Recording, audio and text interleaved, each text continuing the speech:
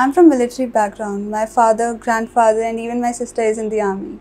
And uh, talking about my schooling, I've done my schooling from army schools only. First Turkey, then Jaipur, and then APS Chandi Mandir. I'd always been in the Cantt area, so looking at the beauty of the Cantt area and the respect which is given to the army officers, plus the trust that everybody have in the army and in the army personals, really motivated me to join this service, which will provide me an opportunity to serve for the nation and will give me a respect in the world which is unparalleled. Uh, I remember the interviewer asking me, give any advice to your elder sister.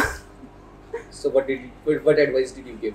Uh, I think that was a personal question which I had answered to the interviewer himself. Uh, I look at Dr. APJ Abdul Kalam as my motivation because he was somebody who started from the scratch and became the president of India, which is a commendable job.